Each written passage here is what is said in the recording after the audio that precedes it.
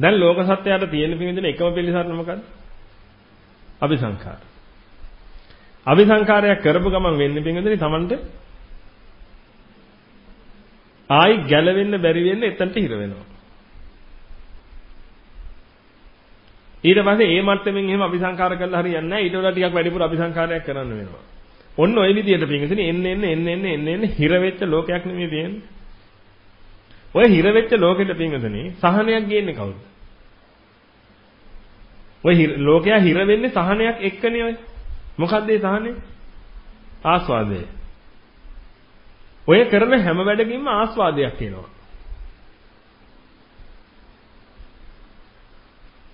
ඇයි ඔය ආස්වාදයේ ඉන්නේ? ඇයි ඔය ආස්වාදේ එන්නේ? පෙලීමෙන් නිදහස් වෙද්දී. පෙලීමෙන් නිදහස් වෙනකොට ආස්වාදේ එනවා. එහෙනම් මට කියන්න රූපයක් දැක්කහම ලස්සනයි කියලා හිතෙන්නේ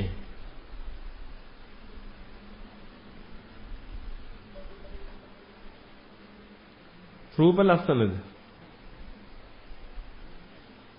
ලස්සන රූප දැකලා තියෙනවද? පයින්නත් උත්තර දෙන්න. ලස්සන රූප දැකලා තියෙනවද? ඔව්. රූප ලස්සනද? රූප ලස්සනද?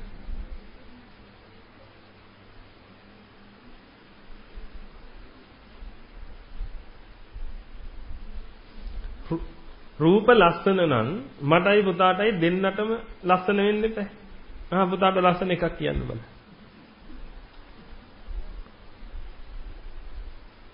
මොකද රූප ලස්සන නම් ඒ මෙන්න මේක ලස්සන නැයින රූපේ. ඒ කියන්නේ මේ අපි හැමෝටම මේක මක් වෙන්න ඕනේද? ලස්සන වෙන්න.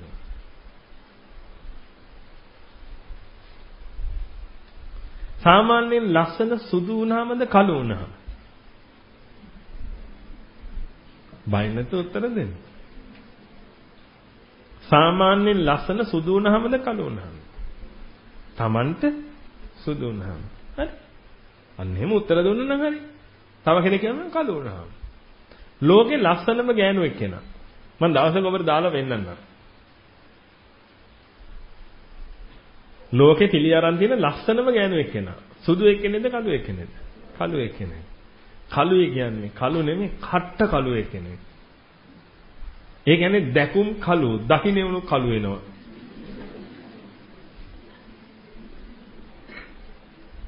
ඒ තරම් කළුයි. දැන් කළු කියන්නේ කැතටද?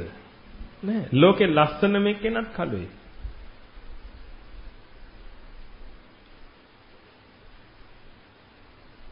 පිළිගන්න කැමති නැහැ නේ ගොඩ පිරිසක්. එහෙම කොහොමද හඳුන්නේ එහෙම වෙන්නේ?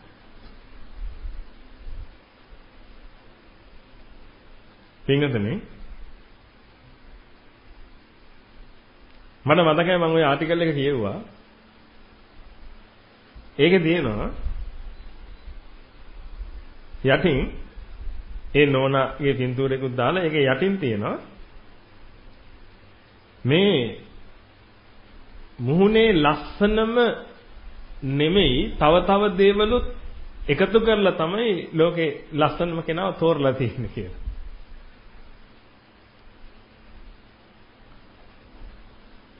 ඇයි එහෙම ලියන්නේ?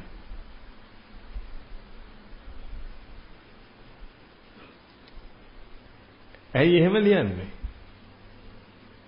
ඒ කියන්නේ මේ කවුරුහරි ලියපු report එකක් ඔය. මේ ඒ ඒ ලස්සනම කාන්තාව පිරිස ගැන සහ කඩවසම්ම පිරිමි පිරිස ගැන ලියපු රිපෝට් එකක් ඔය. ඒ රිපෝට් එකේදී මුලින්ම ඉන්නේ අර නෝනනේ. තරුණ නෝන කෙනෙක් කළු නෝන කෙනෙක්.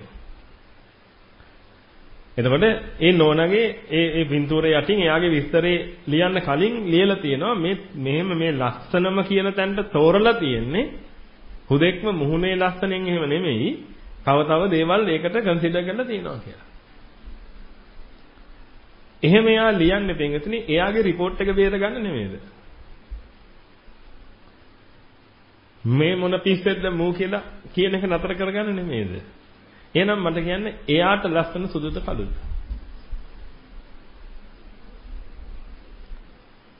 මම කියන්නේ ඒ එයාට ඒ රිපෝටර්ට ලස්සන සුදුද කඳුද?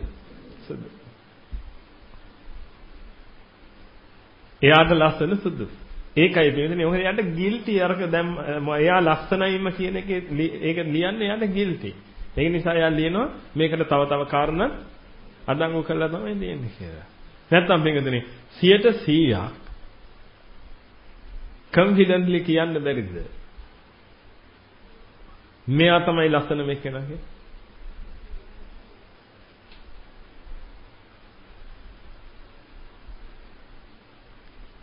දැන් අපි කියන මූණ පිච්චිච්ච ළමයෙක් කවුරු හරි. ඒතර එයාගේ මූණේ වෛරම් වෛරණු තියෙනවනේ දැන්. ඒ කියලා අපි කියනවා මෙයා තමයි ලෝකෙන ලස්සනම එක්කෙනා. ඔබට පුළුවන් ද නෑ කියලා.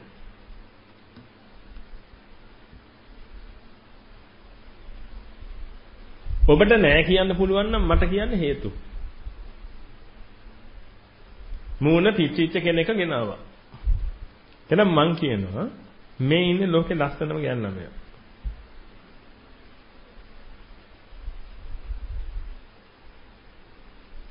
ඔබට කියනවා නම් නෑ කියලා හේතු කියන්න.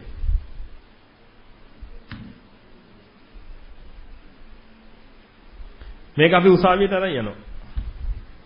අපි උසාවියෙන් විසඳ ගමු මේක. මං කියන්නේ යා තමයි ලස්සනම කෙනෙක්. ඔබ පුළුවන් නම් ඔප්පු කරන්න නෑ යා නෙමෙයි ලස්සන අහවල් එක්කනයි ලස්සන කියන්නේ. ඔප්පු කරන්න තියෙන සාධක කියන්නේ. හැබැයි ඒව ඔක්කොම ස්වභාවික සාධක වෙන්න ඕනේ. සම්මත කරගත්ත සාධකේම හරියන්නේ නෑ. සාමාන්‍යයෙන් ලස්සන අයගේ කන් දීගයි. ඒ මොනවද? ඒවා සම්මත. ඒවා පරමාර්ථ නෙමෙයිනේ. ඒවා සම්මත. අපිට කියන්න බෑ සාමාන්‍යයෙන් අන්තිය ණය ලස්සනයි. අපි එහෙම සම්මතයක් කරගමු එහෙනම්. අන් තියෙනවා නම් හොම්බක් තියෙනවා නම් වල්ගියක් තියෙනවා නම් කකුල් දෙකෙන් එකම නම් හිටගෙන ඉන්න අන්න එයා තමයි හොඳම කසාද බඳින්න කියලා. ඉතින් මේ සම්මතනේ. සම්මත නැතුව මට කියන්න පරමාර්ථ වශයෙන්. කියන්නේ ලෝකේ ඇත්තටම තියෙන වශයෙන් කියන්නේ. අර මං කියපු අර ගෑන් ළමයා. හෙවත් මූණ පිච්චිච්ච ළමයා තමයි ලස්සනම කියලා මං කියන්නේ. ඒක එහෙම නෙමෙයි කියන්නේ සාධක කියන්නේ.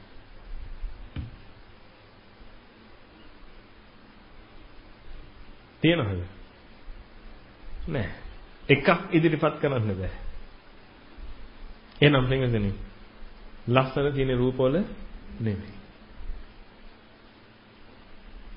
අපි හොඳට ඉගෙන ගමු ලස්සන තියෙන්නේ කොහෙද කියලා. මොකද හේතුව හැමෝටම ලස්සන පේනව නේද? ලස්සන ළමයි ඉන්නවනේ. ලස්සන මල් දැකලා තියෙනවනේ. ලස්සන චිත්‍ර දැකලා තියෙනවනේ. දැන් අපේ චිත්‍රසේන මහත්තයාගේ චිත්‍ර එහෙමද? ඔබ ලස්සනයි කියනවද? අපිට නම් බල්ලේ කුඩුවක් බලන්න බෑ.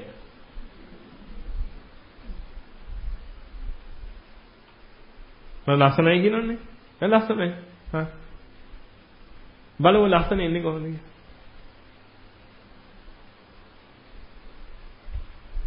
හොඳට තේරුම් ගන්න ලස්සන එන විදිහ.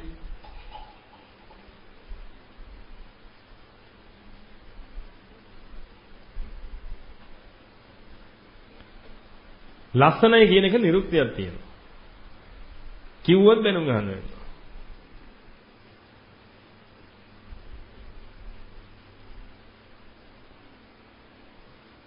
නැවත නිරුක්තියෙන් කිව්වට පස්සේ තේරෙනවා ඇත්තටම ලස්සනයි කියන එකේ මොකක්ද හරි අර්ථය කියලා. දැන් සාමාන්‍යයෙන් ලස්සනයි කියලා කියපු ගමන් පින්වතුනි ඒකේ අර්ථයේ විදිහට ලෝකයට වැටහෙන්නේ දැන් දැකුම් කලුයි වගේ ගන්නනේ.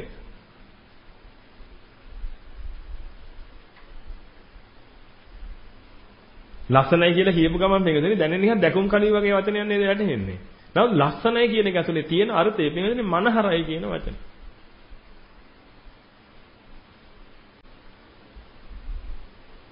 ලය ආස්වාසන.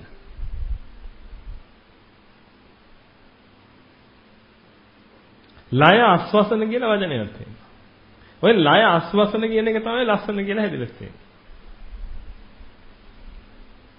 දැන් එහෙනම් මට කියන්න. ලස්සන කියන එක තියෙන හිතේද? ඇයි? ලය කියන්නේ මනසටනේ. එයානේ මන ආස්වාසන එක. කොහෙද ඔක තියෙන්නේ? හිතේ. කොහොමද ලස්සන පේන්නේ? ඔන්න ඕකද ටිකක් ගැඹුරට ඉගෙන ගමු. ටික උඩින් උඩින් ඉගෙන ගමු ඉන්ටර්වල් එක වෙනකම්. ඊට පස්සේ ටිකක් තව ගැඹුරට ඉගෙන ගමු. මොකද මම එකපාර ගැඹුර දෙන්න කැමති නෑ. මේ කුන් ටික යවල ඉන්න ඕනේ. ගැඹුරු දෙන්න. මොකද එකපාර ගැඹුරු දුන්නොත් මේ කුන්ට ඊට පස්සේ අර තේරිච්ච ටිකවත් තේරෙන්නේ නැතු යනවා. ටික ටික බේත් කරන්න ඕනේ. අනුකම්පාවට වෙන මොකටද නෙමෙයි. ඒකයි මේ දිනේ මම කියන්නේ. මේ පොදු අනුකම්පාවක් දෙන්නේ.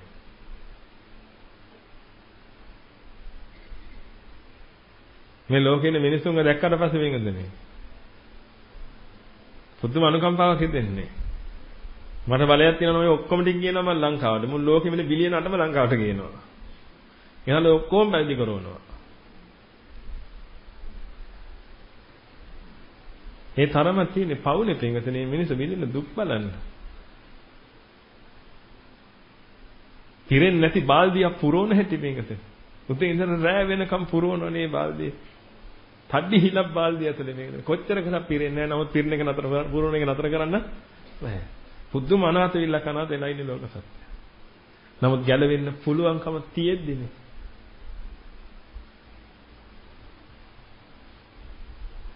ඒකනේ තරුණයන්ට කියන්නේ වරෙව් මේ යුද්ධේ කරන්න කියලා. මේ පංචමාර යුද්ධයෙන් ජය අරගෙන තෙන්වතනි අරිහත් දජේ යුද භූමිය උස්සන්න. වරෙව් කියලා. ඔය ගෑනුන්ට හැංගිලා ඉන්නේ නැතු.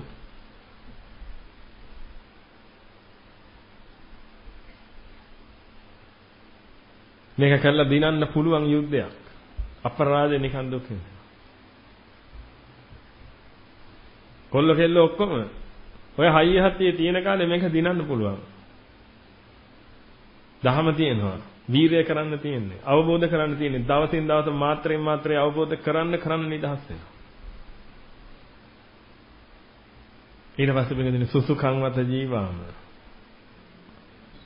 උස්සුකේසු අනුස්සුකා. උස්සුකේසු මනුස්සේසු විහරාම අනුස්සුකා. කාමෙන් තෙත බරිත වෙලා කවදාකවත් පිරෙන්නේ නැති කාම වස්තු පස්සේ දුවන මිනිස්සු වගේ නෙමෙයි අපේ. ඒවෙන් පීඩාවටපත් නොවේ. පුදුම සුවයෙන් ජීවත් වෙනවා.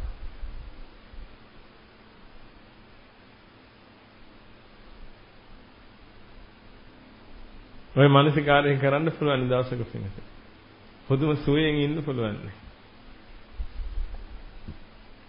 ඒ සුවයෙන් ඉන්න නම් ඉස්සෙල්ලා යුද්ධ කරන්න ඕනේ. යුද්ධ කළා යුද්ධ දිනන්න ඕනේ. යස්සජිතං නාවජීයති වෙන්නේ අන්න එතකොට. දිනන්න ඕනේ ආයි පරදින්නේ නැති වෙන්නේ. කෙලින්ම ජයග්‍රහණය විජයග්‍රහණය බවට පත් වුණා. ආයි පස්සට එවන්නේ දින්න දින්නම තමයි.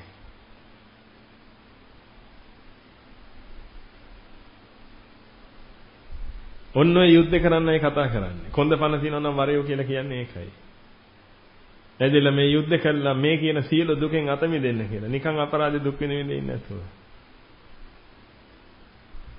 එහෙනම් බලන්න දැන් වෙන දේ ඔන්න ලස්සන වෙන හැටි.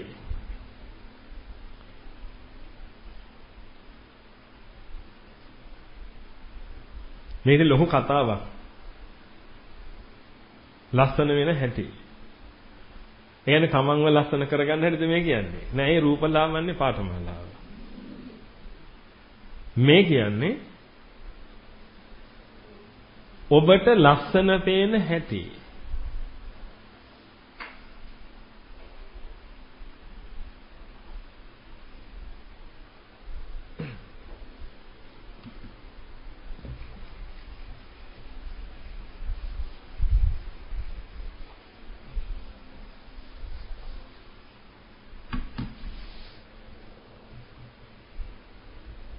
ඔබට ලස්සන පේන හැටි. සාමාන්‍යයෙන් දෙන්නතනේ කාම හරි දැකලා කොච්චර වෙලා ගියාමද ලස්සනයි කියලා හිතෙන්නේ? දැක්කා දැකලා ටික් ටික් ටික් ටික් ටික් ටික් ලස්සනයි. එහෙම දෙන්නේ. එහෙම? දැක ගමන් ලස්සනයි කියලා හිතනවද නැද්ද? දෙයක් හරි වස්තුවක් හරි මොකක් හරි දැක ගමන් ලස්සනයි කියලා හිතෙනවා. මොන බාන වෙන විදිහ බෙදෙන මේවා හරියට තේරුම් ගියාම තේරෙන්නේ මේ සසරේ ඉන්න එක එපා වෙනවා. මෙච්චර කල් ආපු ජීවිතය ගැන පුදුම කලකිරීමක් හිතෙනවා. පුළුවන් තරම් උත්සාහ කරන්න මේක තේරුම් ගන්න. ආයි මේ ලෝකෙ දිහා බලන්නවත් හිතෙන්නේ නැහැ.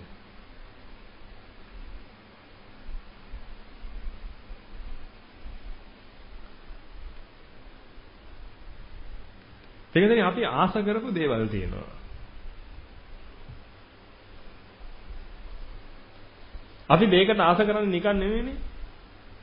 ඉස්සෙල්ලාම මොකක්ද දෙන්නේ අපිට? දෘෂ්ටියක්. ඉස්සෙල්ලාම දෘෂ්ටියක් කියනවා මෙයා හරි ලස්සනයි කියලා. නැත්නම් මේක හොඳයි, මේක ෂෝක්. මේක නියමයි.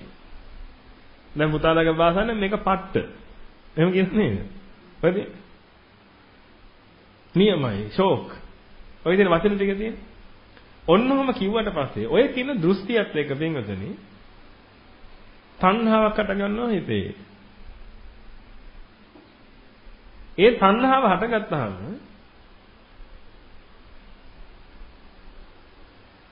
අර තිබිච්ච රූප ස්වභාවය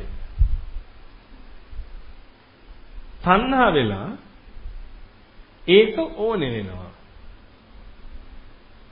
යමකට තණ්හා වෙච්ච ගමන් ඊළඟට මොකද වෙන්නේ? ඒක ඕනේ වෙනවා. ඒකනේ පස්සෙන් යන්නේ ඊට පස්සේ. ඒක ඕනේ දැන්. භුක්තියට ගන්න ඕනේ. ඒක පාවිච්චි කරන්න ගන්න ඕනේ. ඒක ඕනේ දැන්. ඇදුමක් ඇදුමක් දැක්කත් එහෙමයි. ඇදුමක් ඇදුමක් දැකලා ඉඳලා ඒකට තණ්හා හිතුණා නම් ඊළඟට මොකද කරන්නේ? ඒක ඕනේ. ඊට පස්සේ ඒක ගන්න තමයි උත්සාහය. ඕනේ. දැම්මට කියන්න මේකදනේ ඔන්න ඔය විදිහට ඕනේ වෙච්ච රූප කීයක් තියෙනවද ඔබ ගා? හ්ම්? කීයක් තියෙනවද? අනන්ත අප්‍රමාණ ගානක් තියෙනවා. ආස්වාදයි කියලා අරගෙන තණ්හා වෙලා ඕනේ වෙච්ච රූප. මේ මල්ල පුරවල තියෙන්නේ ඒවා.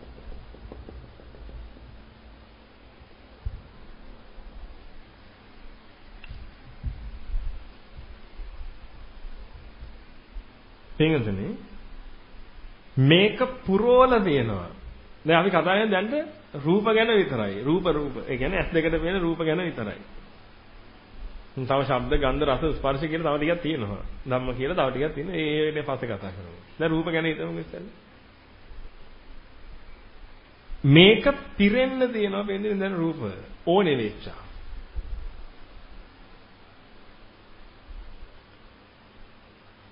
මේ ඕනේ වෙලා තියෙන්නේ ඔක්කොම ආස කරපුවා. ආස නිසා ඕනේ.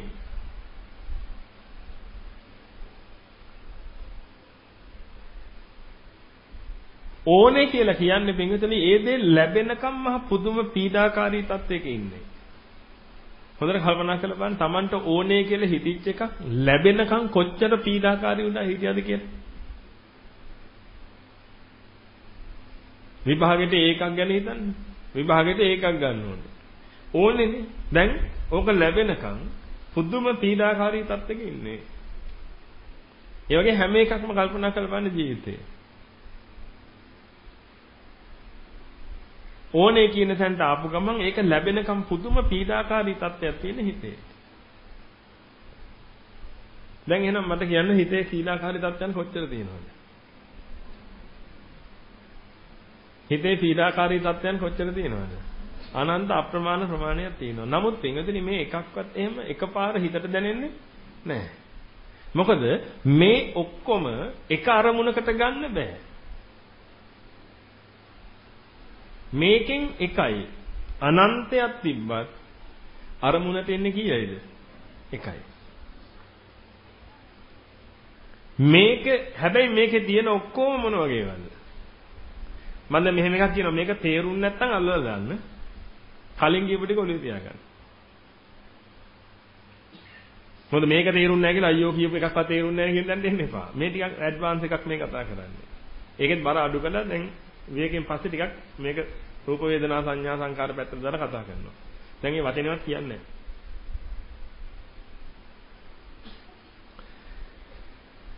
එහෙනම් දැන් බලන්න මේකේ තියෙන හැම එකක්ම පීඩාකාරීද නැද්ද? හැබැයි මේ ඔක්කොම එකපාර දැනෙන්නේ නැහැ.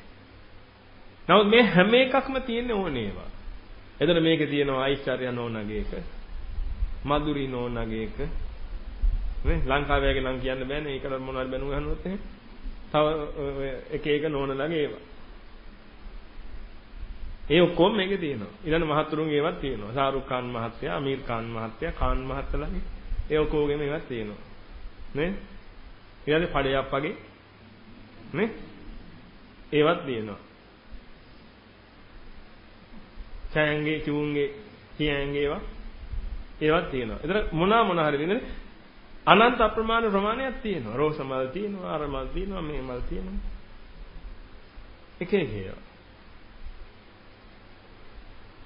කාර් එක එක જાතියේ කාර් සෙල්ලම් බඩු නැති වේද? බෝනික්කෝ නැති වේද? තියෙනවා. ඔය ඔක්කොම තියෙනවා. මේ හැම එකක්ම ඉන්නේ පීඩාකාරී. මොකද හේතුව මේ ඔක්කොම ඕනේ. හැබැයි මේ එකක්වත් ලැබිලා නැහැ. මේ ඔක්කොම ඕනේ. එකක්වත් ලැබිලා නැහැ. ඒ කියන්නේ දෙන්නතනේ. මේ එකක් හරි අරමුණු වුණොත් පුදුම පීඩාකාරී සත්‍යයක් එන්නේ. අරමුණු නොවන තාක්කල් හොඳ.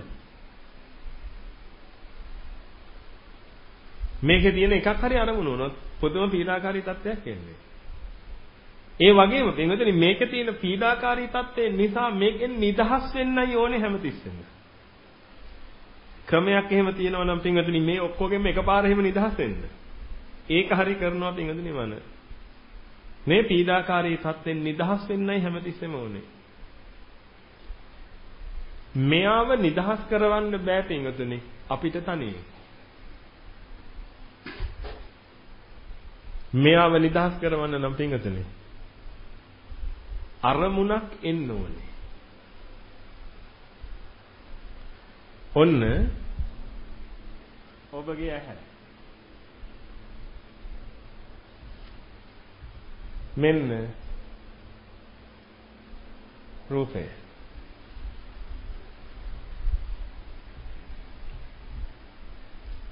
මේ ඇහැයි රූපයයි දෙන්න ගැටෙන වෙලාවේ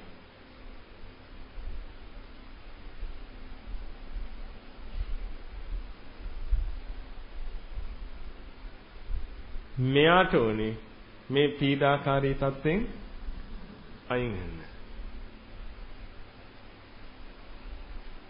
සාමාන්‍යයෙන් මේ ඇහැයි රූපයයි ගැටෙනකොට වෙන්නේ චක්කු විඥාන හැදිලා මේ රූපේ පේනවා. අපි කතා කළා ඒක අම පැත්ත. මේක මම පැත්ත. රහතන් වහන්සේටත් එහෙමයි. අම පැත්ත රහතන් වහන්සේටත් පේනවා. එතන අරිහතුන් වහන්සේටත් මේ කියන ඇහැයි රූපයයි දෙන්න ගැටිලා ඇහැයි රූපේ මේ කියන රූපේ උන්වහන්සේටත් පේනවා. ඇහැයි රූපයයි ගැටෙන්නේ රූපය බලන්න. ඔන්න රූපේ පෙනුණා. දැන් හරි.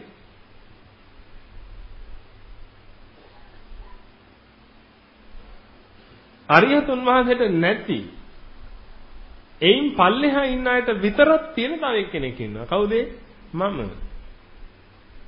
දැන් වෙන්නේ මොකද්ද? ඇහැයි රූපයයි දෙන්න ගැටෙනකොටම පිංගසනේ. ඊට වඩාත්ම ගැළපෙන මෙන්න මේක අස්සේ තියෙන කෙනා මක් වෙනවද? මත වෙනවද?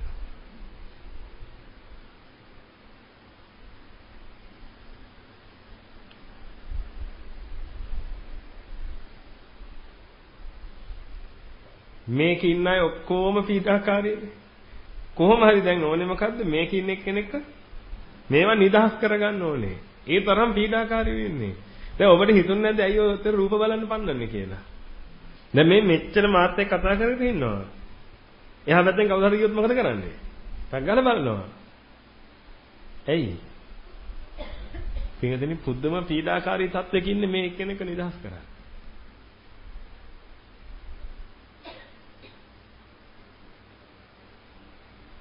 මෙතනින් නිදහස් වෙනකොට පින්වතුනි අර මේක ඇතුලේ තිබෙන පීඩාකාරී තත්ත්වයෙන් නිදහස් වෙනකොට මොකද වෙන්නේ? අන්න ආස්වාදයක් එනවා.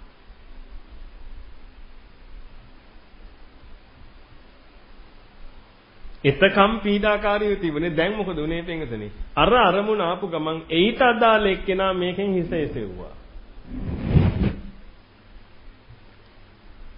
ඒට අදාළ කෙනා මතු කරගත්ත යන්සම්. දැන් මොකද වෙන්නේ පින්වතුනි? අන්න ආස්වාදයේ ස්වභාවය එනවා දැන්. මොකද අර පීඩාවෙන් මක් වෙච්ච නිසාද? නිදහස් වෙච්ච නිසා. බලන්න දැන් වෙන වෙලේ. මේ පීඩාවෙන් නිදහස් වෙච්ච නිසා ආස්වාදයක් ආවා.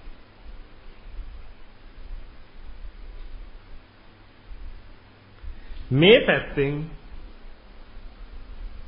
රූපෙත් පෙවුණා. මේ පැත්තෙන් ආස්වාදයක් ආවා. මේ පැත්තෙන් රූපෙ පෙවුණා. රූපයයි ආස්වාදයයි එකට එකතු වුණාම කියනවා ලස්සන රූපය කියලා. රූපය පෙනුණා හිතට සහනයක් ආවා.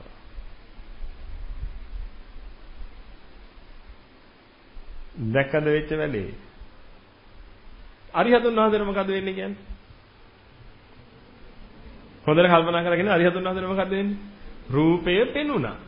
එච්චරයි. අය අරිහතුන් වහන්සේගේ මේ පැත්ත නෑනේ මම පැත්ත නෑ පොඩ්ඩක්. පීඩාකාරී තත්ත්වය බිඳුවයි. පීඩාවක් නැත්තම් ඒකෙන් නිදහස් වෙන්න දෙයක් නෑ. නමුත් මෙතන වෙලා තියෙන්නේ මොකද්ද? මේ රූපේ පෙනුණා ඒ නමතරව මෙතන තිබිච්ච පීඩාවෙනුත් නිදහස් වුණා. පීඩාවෙන් නිදහස් වෙනකොට ආස්වාදය ආවා. මේ පැත්තෙන් රූපය පෙනුණා. එහෙනම් ආස්වාදයක් එක්ක රූපය දැක්කහම අපි ඒකට කියනවා ලස්සන රූපය කියලා. එහෙමයි යෝක වෙන්නේ. එහෙනම් දැන් මට ඔබ කියන්නේ ඇත්තටම ඔබ ඔය ලස්සන දැක්කේ ඔය එළියේ තියෙන රූපෙද? නැත්තම් මේ ඇතුලේ කේද එහෙනම් මොකටද බල ඔය එළියේ තියෙන ඒවා පස්සේ දුවන්නේ? එළියේ තියෙන ඒවා කරන්නේ මේකව පොඩ්ඩක් අවදි කරලා දෙන එක විතරයි.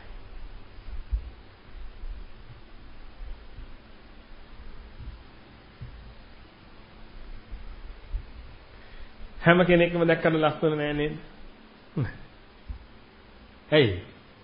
මේ ලෝකේ ඉන්න හැම කෙනාගේම මූණ මේක ඇතුලේ නෑ. මේක ඇතුලේ තියෙන මොන මූණ විතරද? ෂෝක් මූණ. දැන් කවුද ඒව ෂෝක් කිව්වේ? තමන්ම තමයි. තමන්ම තමයි ඒව ෂෝක් කියලා දාගත්තේ. තමන්ම ෂෝක් කියලා දාගත්තේ ඒවා.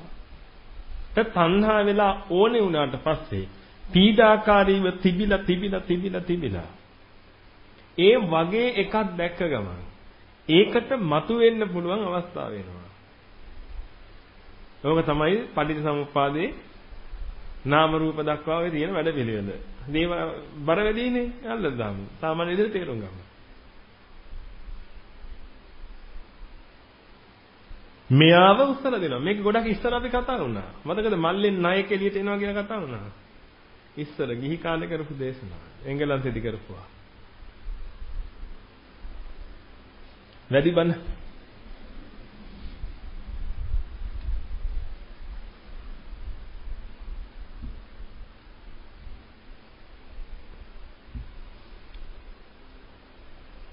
හොඳට දැන් කල්පනා කරලා බලන්න.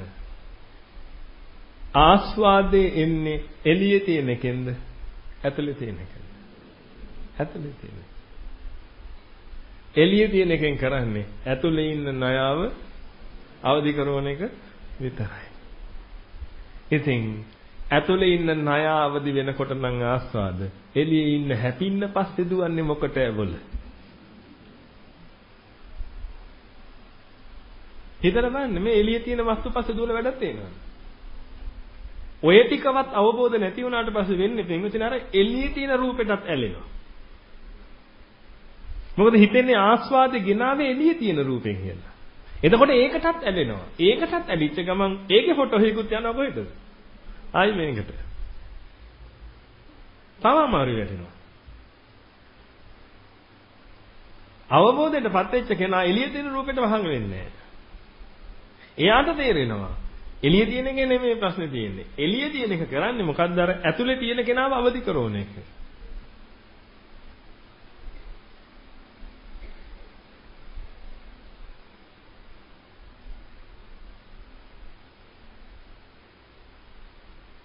හොඳට තේරුම් ගන්න කතාව. එහෙනම් මෙච්චර වෙලා පීඩාකාරීව තිබිච්ච එකෙන් නිදහස් වෙනකොට මේ පැත්තෙන් ආස්වාදී ස්වභාවයක් ආවා. කොහොමත් ඇහැට රූපයක් දැක්කහම ඉතින් ඒක පේනවා. ඒක ඉතින් මේ කයේ හැටි. ඒක අරියතුන් වහන්සේලාත් එහෙමයි අපිටත් එහෙමයි. මේ පැත්තෙන් රූපය ආවා. මේ පැත්තෙන් ආස්වාදය ආවා. අන්න එතකොට කියනවා ඒ රූපේ හරි ලස්සනයි.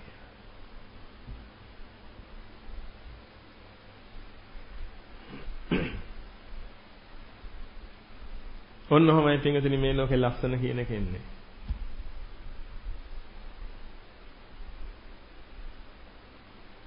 ඒක නිසා පින්වතුනි ඔබට අවශ්‍ය නම් තව කෙනෙක් ඉදිරියේ ලස්සනට පෙනී සිටින්න. ඔබට කියන්න වෙනවා. ඔයාගේ නයි මල්ල බලමුද? ඇයි? එයාගේ උපාදාන මල්ලට ඔළුව දාලා බලන්න වෙනවා පින්වතුනි. එයා මොනවටද උපාදාන වෙලා තියෙන්නේ කියලා. ඉතින් ඒක නිසා නෙමෙයිද පිටකදී සාමාන්‍ය දැන් ඔබ ඔය අපි දුමු වැඩ කරන තැනින් අස් වෙන දවසේ. එයාට ඔබගේ බර්ත්ඩේ එකකට හරි. ඒ වගේ ඇනිවර්සරි එකකට හරි. ඔය මොනවා හරි එකකට පිටකදී යාළුවෝ තෑග්ගක් එහෙම අරන් දෙන්න හොයද්දී. නිකන් ආරංචි කරන්නේ නැද්ද මේ ඔබ කැමති මොනවටද කියලා? දැන් පුතාලා ගුරුවරුන්ට එහෙම වන්දි වලනකොට තෑග්ගක් එහෙම අරන් දෙද්දී හොයනවා. මොනවද දන්නේ සර් කැමති.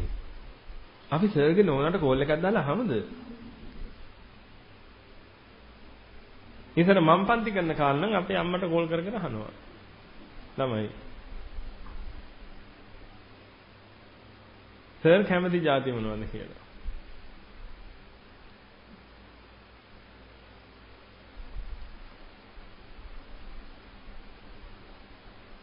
හේතුව සතුටක් එන්න නම් මක් වෙන්න ඕනේද? කැමති දෙයක් දෙන්න කොහොමද කැමති දෙයක් දුන්නාම සතුටක් එන්නේ? කැමති දෙයක් කියලා කියන්නේ මේ නයි මල් ඇතුලේ තියෙන මේ නිකන් අල්ලන්නේ නෙමෙයි මේක නයි මල්ලක්. මේ මේ පුදුම දුකක් මේක ඇතුලේ තියෙන්නේ. මේ අනාතය මේක ඇතුලේ තියෙන්නේ තනි කරම. මේ එකක් හරි අරමුණු වලත් එහෙනම් පුදුම වේදනාවක් එන්නේ. ඒ කියන්නේ පුදුම පුදුම රිදිල්ලක් තියෙන්නේ මේ වයයි. පීඩාකාරී.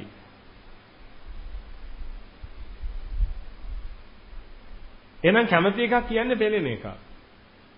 එතකොට මේ පෙළෙන එක පෙන්නුවට පස්සේ මොකද වෙන්නේ?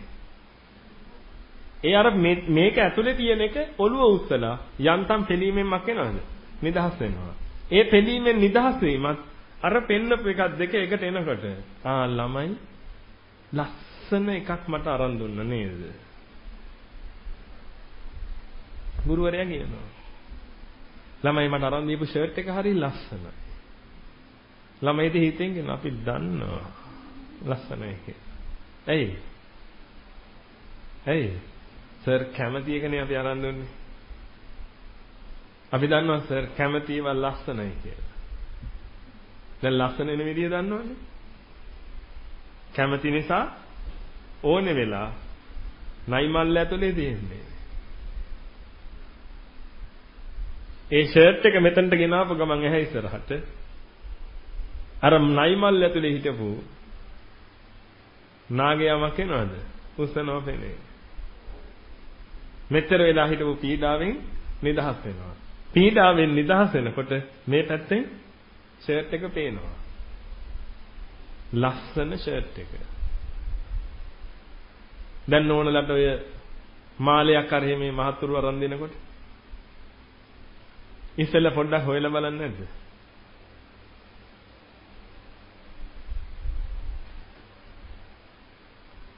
කැමති જાතිය මොනවද කියලා හොයලා බලනවා ඉස්සෙල්ලා. දැන් පෙම්වතුන් පෙම්වතියන්ට එහෙම අරන් දෙනකොට පව් වෙනදනේ. පුදුම කරුමකාරකමක්. හිතන බලන්න.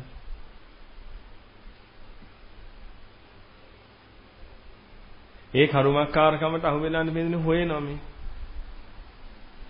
අරයා කැමති මොනවද දන්නේ යාළුවගෙන් අහලා බලමු.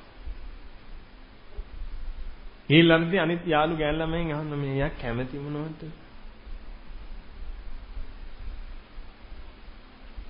මහ ලොකු වීරයෝ නේද ඔය? කොඳු යට දෙන ඇත්තෙම නෑ. හරි? සතුටු කරන්න. එයාව සතුටෙන් තියන්න ඕනේ. එයාව සතුටෙන් තියන්න කලින් බොලා සතුටු වෙලා හිතහල්ලකෝ. ඔය දෙගොල්ලන්ට මම කියන්නේ. අරිහතුන් වහන්සේලා එහෙම හිතන්න ඕනේ. මේ අයව සතුටෙන් තියන්න. ඇයි? මං සතුට වෙලා නින්නේ. මේ අයව සතුටෙන් තියන්න.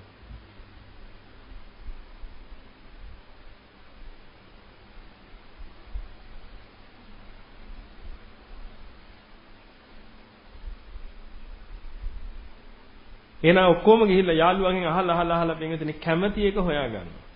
මෙන්න මේ જાතියේ පැටර්න් එකේ මාලයකට කැමති.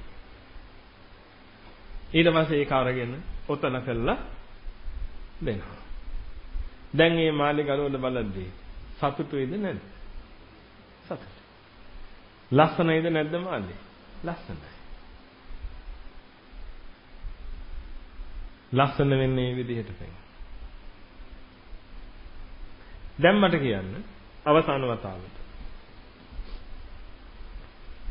වැරදිලා මාලයක් ගත්තා. අපි උදව් කරන්න එපා දරුවන්ට. වැරදිලා මාලයක් ගත්තා.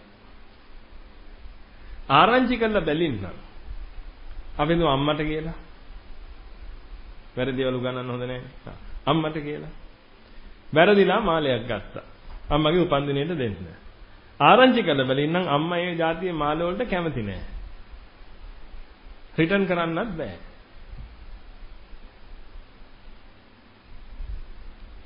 කොහොමද අම්මව සතුටු වෙන්න ඕක දෙන්නේ? මොකද මාළේ ගත්තට පස්සේ තමයි නයි මල්ලස්සට බහලා බැලුවේ. නයි මල්ලස්සේ එහෙම එකක් නෑ. එහෙනම් දැන් හොඳටම දන්නවා මේක දුන්නා කියලා අම්මා සතුටු වෙන්නේ නෑ. එහෙනම් දැන් කොහොමද සතුටු කරන්නේ? මොකද කොහොමද කරන්නේ? කොහොම හරි ඔය જાතිය එකක් නයි මල්ලස්සට ඔබනවා. ඒකට කරන්න තියෙන්නේ දෘෂ්ටියක් දෙන එක. අම්මේ මගේ යාළුවෙක් මාලයක් දාන් ආව අම්මේ ඒකලු මේ කාලේ තියෙන හොඳ මේක.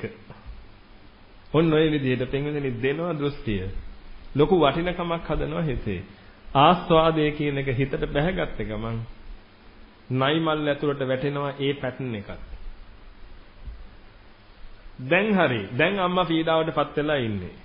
දැන් පුළුවන් අම්මව සතුට කරන්න. අම්මව හරි ඕනේ කෙනෙක් ඔය විදිහට සතුට කරන්න. තියෙන එකෙන්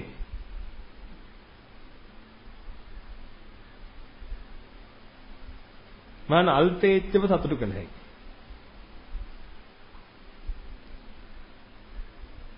සමහරට කෙනෙක් ඉන්න පුළුවන් එයාට සල්ලි නැහැ. ඒක නිසා එයා කලේ මොකද්ද?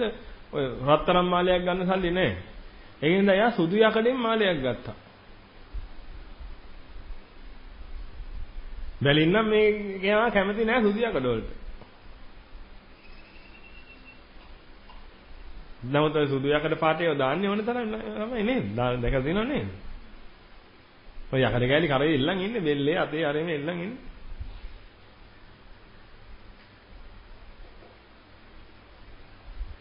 ඒක මනයි මල්ලේ නැත්තම් මොකද කරන්න දෙන්නේ? නයි මල්ලට දාන්නේ. එංගලන්තේ වගේ අය රත්තරන් දාන්නේ නැන්නේ. වැදගත් මිනිස්සු එහෙම ගොඩක් රත්තරන් දාන්නේ නැන්නේ. ඒගොල්ලෝ දාන්නේ රිදී පාට වගේ.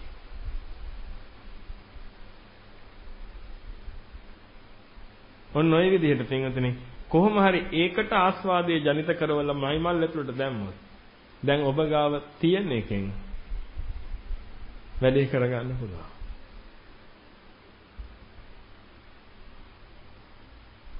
ලෝකයා ලස්සන කියලා අමාරුවේ වැටෙන්නේ ඔන්න ඕකට. තමන්ගෙම ණය නැගිටලෙද්දී තමන්ටම දැනෙන ආස්වාදයේ තමයි ඔය ලස්සන කියලා කියන්නේ. නමුත් මොට්ටේ ඔය හිතාගෙන ඉන්නේ. ඔය ලස්සන තියෙන්නේ. අර දකින රූපේ කියලා. ඒ ලස්සනෙන් මිදෙන්න සමහර අය මොකද කරන්නේ? ඒක බලන්න දැන් මග වඩන්න දැන් ඔය ඕක හරියට අල්ලගත්ත නැති වුනහම මග වඩන්නේ පෙරදියට. ඇයි? දැන් අර රූපේ දැක්කහම ලස්සන නිසා ඒ ලස්සන නැති කරන්න මොකද්ද කරන්නේ? රූපේ හැම ගලවලා බලනවා. ඉතින් හරි රූපේ හැම ගලවලා බැලුවාම ලස්සන නැහැ. ඇයි? රූපේ හැම ගලෙව්වට මේ ණය එන්නේ නැහැ. මේ ණය එන්නේ අර රූපේ හැම තියෙන්නේ.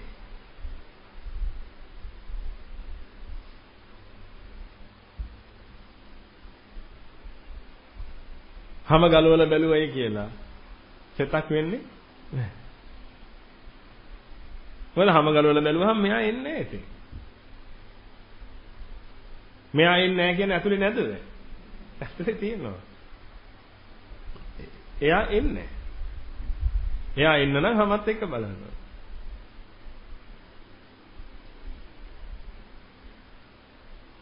නැද ලස්සන කෙනෙක්ව පේනවා. එළ මෙයාගේ ඉතින් හොරි හැදුනොත් එහෙම. කියලා මූණේ නිකන් හොරි ටිකක් දාලා බලනවා. ඉතින් මූණේ හොරි හැදිලා වගේ දකින්න. එතකොට මෙයා එනවද? නෑ. එතකොට ලස්සන නෑ තමයි. ඒ කියන්නේ දින්නද? නෑ. ඒ වෙලාවට හිත හදාගත්තා. දිනන්න නම් මොකද්ද කරන්න ඕනේ? මේක එම්ටි කරන්න ඕනේ. අරිහතුන් වහන්සේගේ ස්වභාවය තමයි තේන්සනේ මේ නයි මල්ල එම්ටි. නයි මල්ල බිඳුවයි. නයි මල්ල බිඳුව නිසා අරිහතුන් වහන්සේව සතුටු කරන්න පුළුවන් මිනිසෙක් දෙවියන් බඹුන් මරුන් සහිත ශ්‍රමණ බ්‍රාහමණින් සහිත මේ ලෝකේ කාටවත් බෑ. අරිහතුන් වහන්සේව සතුටු කරන්න. මොකද හේතුව? උන්වහන්සේ ඉන්නෙම සතුටේ. සතුටු කරන්නේ කවද? සතුටින් ඉන්නේ කෙනාද? නෑ. කවද? දුකෙන් ඉන්නේ. අරිහතන් වහන්සේ සතුටු කරන්න බෑ කාටවත්. මේ විදිහට මොකද නයි මල්ල නෑ අරිහතන්. දැන් මේ ඔස්සේ හිතලා බලන්න.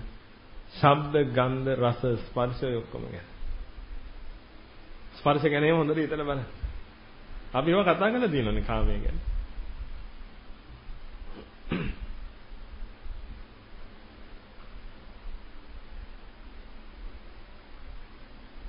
තමන්ගේම ෂර්ට් එක තමන්ගේම ඇඟේ ගෑවෙද්දි කාමයෙන් ජනිත වෙන මිනිස්සු නෙමෙයි දින්නේ. මට කන්නේ අපි ඔය කතා කරලා. ඔය හිතලා බලන්න. තමන්ගේම ෂර්ට් එක නේද තමන් ඇඟේ ගෑවේ. මොකද හිතෙන්නේ?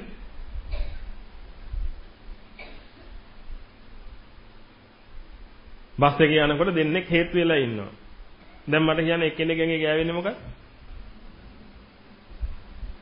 එයාගේම බැනීම නෙමෙයිද? කල්පනා කරලා බලන්න. එයාගේම බැනියම එයාගේම ඇඟේ ගෑවෙද්දී එයාට කාමයෙන් දැනෙනවා. ඉතින් අපරාධනේ කෝටි දෙකක් වියදම් කරලා කතාද වෙන්නේ? අර පමුණෙන් බැනියන් කඩයක් දාගත්තා නම් ඉවරයි නේ.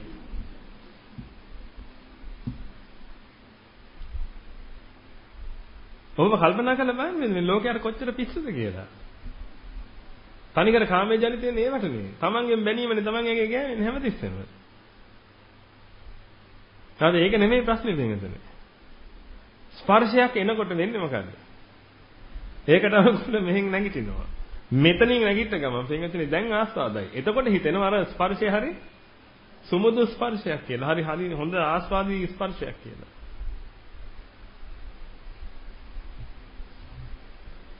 මේකයි ක්‍රමේ. නැතුව මේ ලෝකෙ පින්විතනේ සුමුදු ස්පර්ශ කියලා જાතිය නැහැ. මේ සුමුදු කියලා කිව්වේ soft කියන අර්ථයට නෙමෙයි.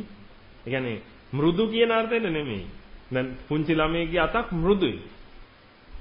වැඩිහිටියෙක්ගේ අතක් රළුයි. ඒ රළු මෘදු කියන එක ඇත්තටම රූපවල තියෙන එකක්.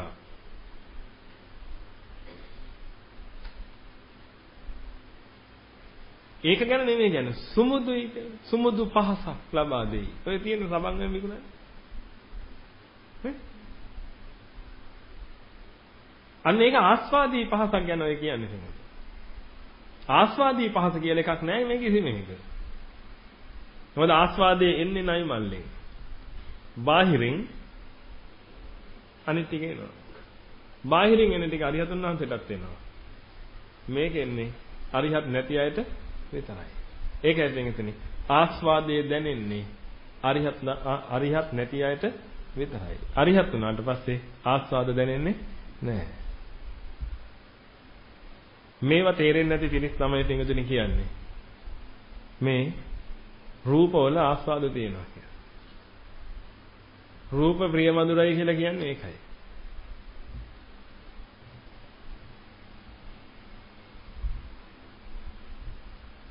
හරිහතුන් වහන්සේටත් ප්‍රිය මధుර භාවය දැනෙනවා කියන්නේ ඒකයි. ලොකු හාමුදුරුවෝ කිව්වයි කියලා හිතා ගන්නවා. ඒ කියපුවා තේරුම් ගන්න බැරුව.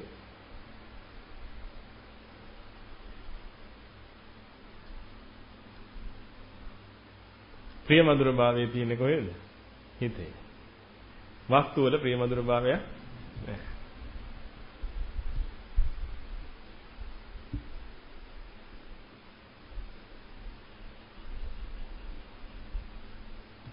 එතනින් එහාට තියෙන ටික අපි ඊළඟ පාස් එකක් අරගෙන කතා කරමු. අවසාන වශයෙන් මෙන්න මේක හොඳට ඔළුවේ තියාගන්න හැමෝම. විශේෂයෙන් තරුණ පිරිස. මාත් ඔබගේ බෝට්ටුවේමයි හිටියේ. මේ ඉන්න ස්වාමින් වහන්සේලා ඔක්කොම 50 ගාණක් ස්වාමින් වහන්සේලා ඉන්නවා අනගාരിക අය ස්වාමින් වහන්සේලා වෙන්න ඉන්න අය 20 ගාණක් ඉන්නවා. ඔය ඔක්කොම හිටියේ එකම බෝට්ටුවේ. ඔය තිබිච්ච ප්‍රශ්න ඔක්කොම අපිට ඔහොමම තිබුණා. අපිට තිබුණාට වඩා එක ප්‍රශ්නයක්වත් පුතාලට වැඩි නෑ. ඔහොමම තිබුණා. ඔහොමම කළා අපි. නමුත් අපිට සත්‍ය වැටහුණාට පස්සේ අපි ඒක පස්සේ දෙවුවා. ඒක පස්සේ දුවලා අපි දිනාගෙන යන්නේ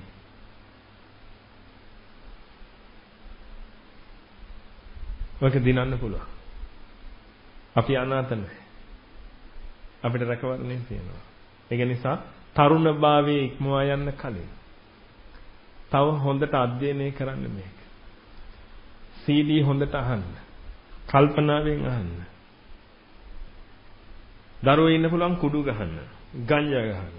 කිසි ප්‍රශ්නයක්. පුංචි කාලෙම නෝනලා තියාගෙන ඉන්න දරුවෝ ඉන්න පුළුවන්. කිසි ප්‍රශ්නයක් නැහැ. මිනි මරපු දරුවෝ ඉන්න පුළුවන්. ගහන මිනිසුන්ගේ අතපය කපන දරුවෝ ඉන්න පුළුවන්. කිසි ප්‍රශ්නයක් නැහැ.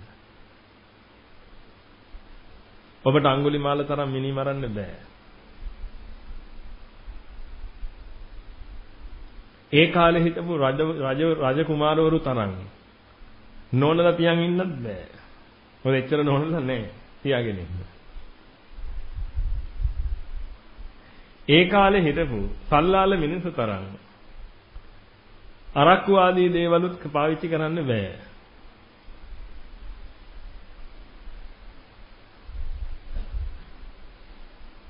හැබැයි හැමෝම දින්නා. දින්නේ මේ ධහමෙන්. මම ඔබට කියන්නේ ධහම අධ්‍යයනය කරා. මේ ධහමට පුළුවන් වුණා එංගලන්තේ හිටපු මාව ලංකාවට ගේන්න. මේ දහමට පුළුවන් වුණා මිලියනර් කෙනෙක් වෙන්න ගිය මාව ඒ පාරේ හඹාගෙන ගිය මාව ආපහු හරවලා මේ ධර්මාසනය උඩට ගේන්න.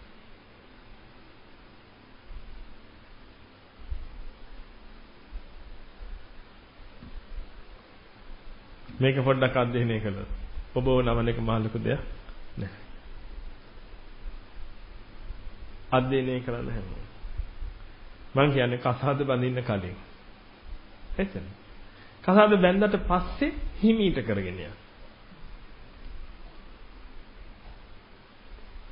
කසාද බඳින්න කලින් තරුණ පිරිස ටිකක් වේගෙන් දහමේ හැසිරෙන්න. බැරි වෙලා හරි හදිස්සි හරි ඉතින් කසාද බැන්දොත් දැන් ඉතින් හදිස්සි වෙන්න එපා. දැන් හිමීට කරගෙන යන්න. මොකද හදිස්සි වුණා කියලා. මොනව කරන්නේද? කරත්තේ කරේනේ. එහෙම කරත්තේ බිම තියන්න බෑනේ එකපාර.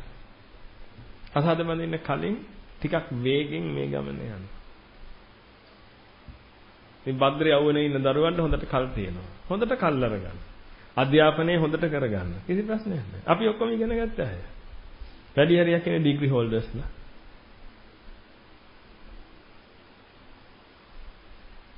ප්‍රශ්නයක් නැහැ. ඉගෙන ගන්න. ඉගෙන ගන්න එක බාධාවක් නෙමෙයි.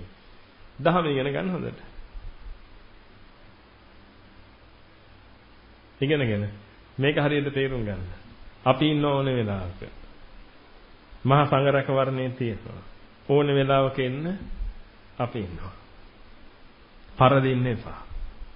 යම් හේකින් මොනවා හරි ප්‍රශ්නයක් උඩ ඕනේ කෙනෙක් තමන්ගේ ගමේ තමන්ගේ ඥාතිවරේ කවුරු හරි ඕනෙම ප්‍රශ්නයක් උඩ කාරු කවුරු හරි කෙනෙක් සියදු විනාසා ගන්නවා කියලා තීරණයට ආවොත් මහා අනුකම්පාවකින් මෙහෙ එක්කන් එන්න.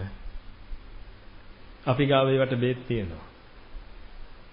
ඒ බේත ගත්ත කෙනෙක් ආයි කවදාවත් සියදු විනාසා ගන්නෑ.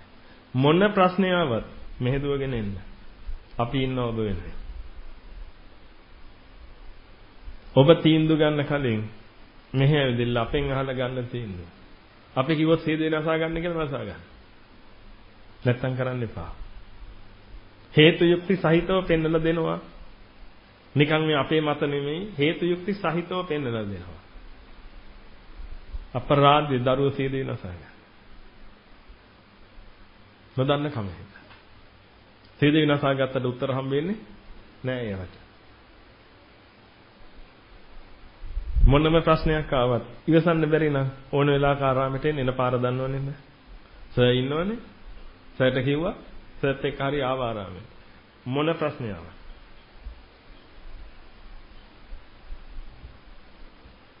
මේ දහම තියෙන්නේ අපි හැමෝටම දිනන්න. අපි කවුරුත් පරදින්න ඕනේ නැහැ. අපි කවුරුත් පීඩාවෙන් ජීවත් වෙන්න ඕනේ නැහැ. දිනන්න පුළුවන්කම තියෙන්නේ.